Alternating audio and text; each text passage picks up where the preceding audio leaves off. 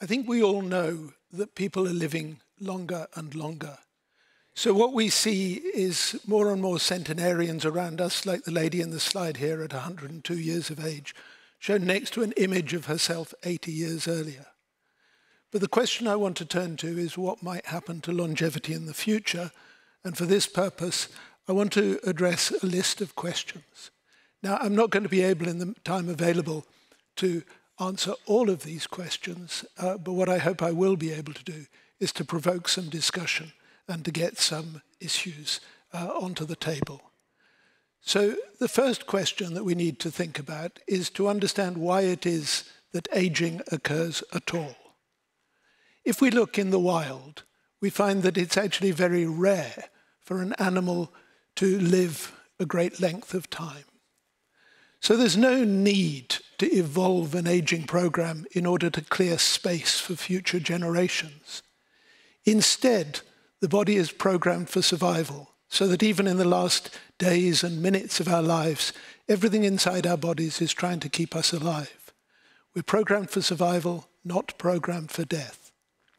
But the important point is that because deaths occur so often in the natural world, there is no real selection for better longevity than is needed. The body is allowed to live its life because it has a whole amazing array of longevity assurance mechanisms. The consequences of limited investment in longevity is that in time, in a protected environment, you see the effects of aging affecting everyone. Now, this tells us why humans have a long lifespan, why animals like a mouse have a short lifespan, because in the wild, animals don't live very long. And what it also tells us is something about the nature of the aging process. That aging is driven by random defects, molecular defects, and damage that arise in our cells, leading to an accumulation of defects in the organs of our body that result ultimately in frailty, degeneration, and death.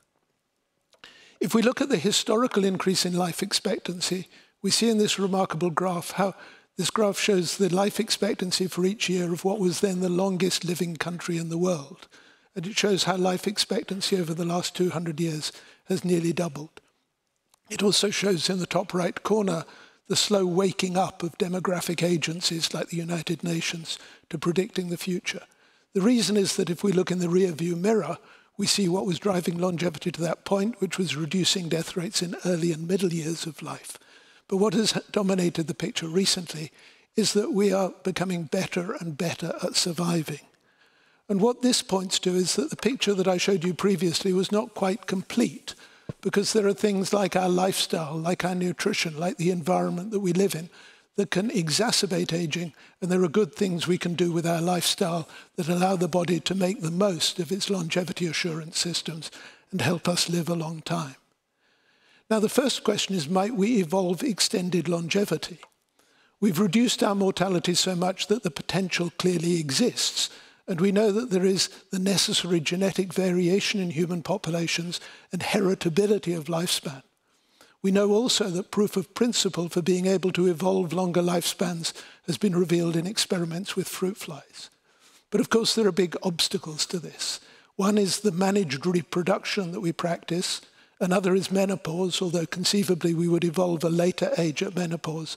And then there are potential trade-offs uh, in the body, uh, for example, between the potential for fertility and longevity. We can come back and discuss these further in the session that follows.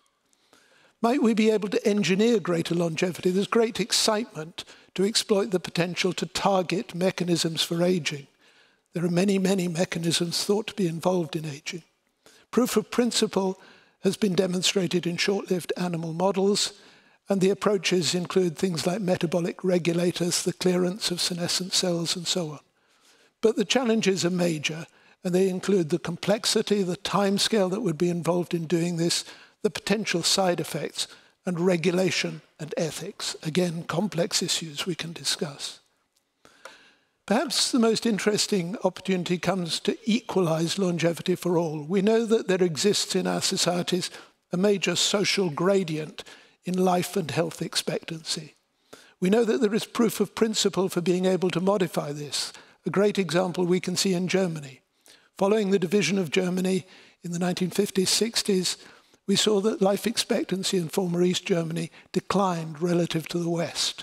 And then in the decades that followed German reunification, we saw that the, chain, the curves converged back together again. The challenges here are the complexity of the process and how to identify cost-effective interventions. What it really needs is commitment and political will. And so just to conclude, uh, we know that the determinants of current longevity are becoming clearer. We know that the future evolution of increased longevity is possible but uncertain. We know that life extension by direct intervention is theoretically possible, but we should be careful in our expectations. Modifying the social gradient offers perhaps the best and most immediate prospect for further change. And of course, we should remember throughout that quality of life is paramount. Thank you.